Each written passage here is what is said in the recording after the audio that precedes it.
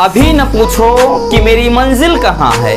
अभी तो सफ़र का इरादा किया है और न हारूँगा हौसला उम्र भर, न हारूँगा हौसला उम्र भर। ये मैंने किसी और से नहीं, खुद से ये वादा किया है। तो चलिए रसगुल्लों, आज के इस वीडियो में हम ट्वेल्थ केमिस्ट्री के एक और मज़ेदार टॉपिक का निपटारा कर देते हैं। आज का जो टॉपिक है, वो है कोलराउश का नियम तथा इसके अनुप्रयोग। ये पूछा जाता है बच्चों, पूरे चार नंबर में, यानी चार नंबर का ये क्वेश्चन है। ठीक है ना? केमिस्ट्री को भी हम लेके चलते हैं। और आपको बता दें, जितने भी फिजिक्स और केमिस्ट्री में आपको टॉपिक में दिक्कत होती है बच्चों तो ट्वेल्थ केमिस्ट्री 2024 ट्वेल्थ फिजिक्स 2024 करके प्लेलिस्ट बना दिया है, आपको कहीं भटकना ना पड़े। इसलिए सारी वीडियो आपको वहीं से भले ही लेट लपेट आप देखें, मिल जाएगी बच्चों। ठीक है ना? चलिए तो कोलराउस का नियम क्या है? इसको देख लेते हैं, बहुत ही प्यारा सा टॉपिक है। देखिए, जैसे यहाँ पर समझना है पहले, हमने एक सॉल्यूशन बना दिया। ठीक, ध्यान से समझना, बहुत ही प्यारा सा टॉपिक है और एकदम क्लियर हो जाएगा। अब रटने की ज़रूरत नहीं है। ठीक, जैसे एक हमने बताया विलियन सॉल्यूशन है। ठीक, ये चीज़। एक विलियन है और इसमें हमने एक वैद्युत अपघट्य पदार्थ घोल दिया है।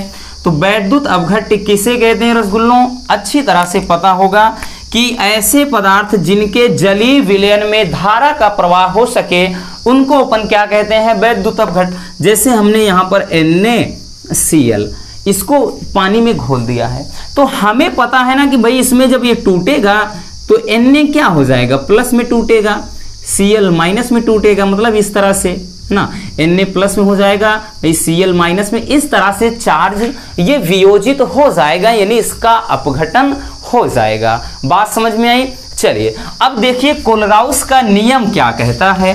तो कोलराउस का नियम क्या कहते हैं? पहले उसको लिखते लेते हैं बच्चों कि अनंत तनुता पर, ठीक है ना? अनंत तनुता पर, अनंत तनुता पर पर। वैद्युत अपघट्य की मोलर चालकता। वैद्युत अपघट्य की मोलर चालकता। मोलर चालकता। विलयन में उपस्थित। विलयन में उपस्थित।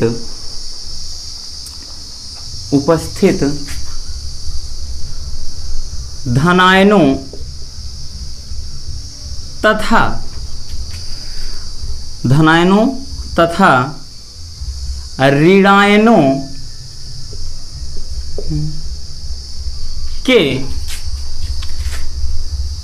मोलर के मोलर चालकताओं के योग के बराबर होता है।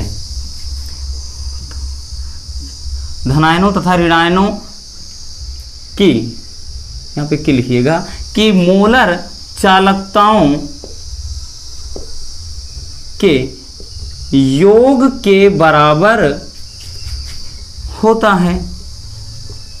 बराबर होता है। ठीक है ना? ये कहता है बच्चों, कोलराउस का नियम।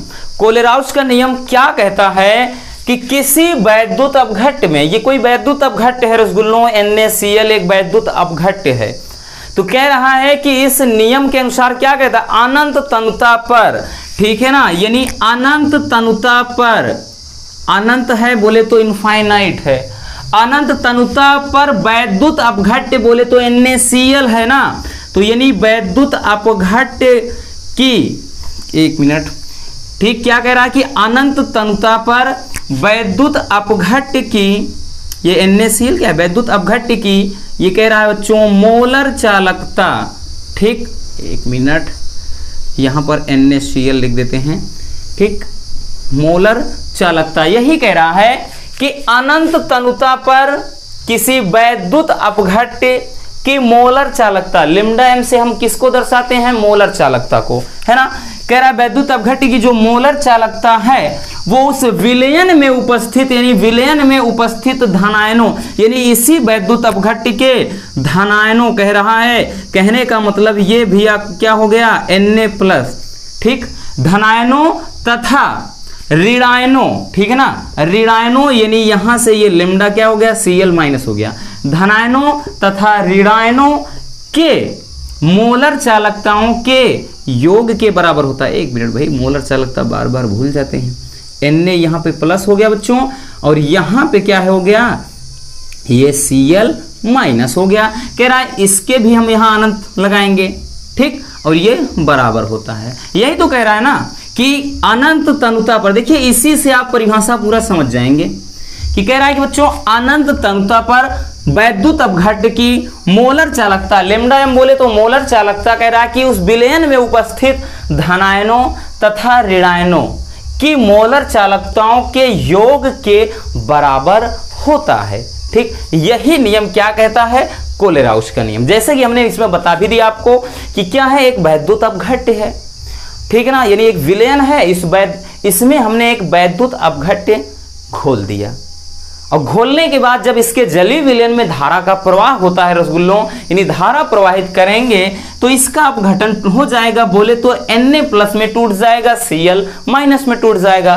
वही कह रहा है कि अनंत तनुता पर वैद्युत अपघट्य की जो मोलर चालकता होती है, वो उस विलयन में उपस्थित धनायनों तथा ऋणायनों के मोलर चालकताओं के योग के बराबर होता है। ठीक है ना? ये बात है।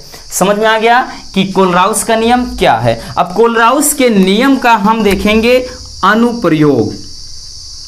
कि कोलराउस के नियम का क्या अनुप्रयोग है? ठीक है ना? कि यानी कोलराउस का नियम कब लागू होता है, किस लिए लागू होता है? तो कोलराउस के नियम में सबसे ज़्यादा है, ठीक वो चीज़ है वियोजन की कोटि ज्ञात करने में। वियोजन की कोटि ज्ञात करने में। ज्ञात करने में। वियोजन की कोटि, ठीक? अभी की मतलब जो भी वैद्युत अपघट है, इसमें वियोजन की कोटि ज्ञात करने के लिए कोलराउस का नियम लगाते हैं, यानी कोलराउस के नियम का प्रयोग करते हैं। अब देखिए, वियोजन की कोटि ज्ञात कैसे करते हैं? तो इसको भी ध्यान से समझ लीजिएगा। इसको लिख देते हैं बच्चों कि किसी सांद्रता पर, किसी सांद्रता पर पर वैद्युत अपघट्य की, वैद्युत अपघट्य की मोलर चालकता। ठीक है ना? हमने क्या बताया रसगुल्लों कि किसी वैद्युत सॉरी यहाँ पे क्या बताया? हाँ किसी सांद्रता पर वैद्युत अपघट्य की मोलर चालकता तथा तथा अनंत तनुता पर, तथा अनंत तनुता पर तनुता पर वैद्युत अपघट्य अपघट्य की मोलर चालकता चालकता के अनुपात को, के अनुपात को क्या कहते हैं? वियोजन की कोटि कहते हैं।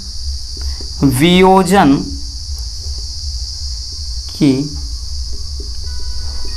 कोटि कहते हैं। ठीक है ना? वियोजन की कोटि कहते हैं। ठीक? वही चीज़ कह रहा है। यानी वियोजन की कोटि कैसे ज्ञात करते हैं? कि किसी सांद्रता पर वैद्युत अपघट्य की मोलर चालकता तथा अनंत तनुता पर वैद्युत अपघट्य की मोलर चालकता के अनुपात को वियोजन की कोटि कहते हैं। कहने का मतलब इन दोनों का अनुपात अगर आप कर देते हैं तो उसी से वियोजन की कोटि हम ज्ञात करते हैं। कहने का अर्थ ये रसगुल्लों, इसको हम सैम्बल में लिखेंगे तो अल्फ़ा बराबर। कह रहा है कि किसी सांद्रता पर तो ये हो जाएगा लेमडा सी, और उसके बाद ठीक है ना, किसी सांद्रता पर मैं मोलर चालकता कह रहा है, तथा अनंत तनुता पर। ठीक है ना, चाहे इसको ऐसे लिखिए, है वही चीज़। अनंत तनुता पर कह रहा है कि मोलर चालकता के अनुपात से ही क्या करते हैं हम? वियोजन की कोटि ज्ञात कर लेते हैं। बात समझ में आ गई बच्चों? तो ये चीज़ होता है, वियोजन की कोटि कैसे ज्ञात करते हैं? तो कोलराउस के नियम के द्वारा। ठीक? तो ये रहा कोलराउस का नियम तथा उसके अनुप्रयोग। ठीक? आई होप कि ये टॉपिक बहुत ही सिंपल तरीके से आपको समझ में आ गया होगा। तो बस आज के इस वीडियो में इतना ही। वीडियो पसंद है तो प्लीज़ वीडियो को लाइक कर देना और नए हैं तो चैनल को सब्सक्राइब ज़रूर कर लीजिए और ज़्यादा से ज़्यादा अपने दोस्तों तक वीडियो को शेयर ज़रूर कर दिया करें ताकि उनके भी प्रिपरेशन अच्छी तरह से हो सके। तो चलिए इसको स्क्रीन कर लीजिए। मिलते हैं किसी और समझदार वीडियो के साथ। Love you bye bye take care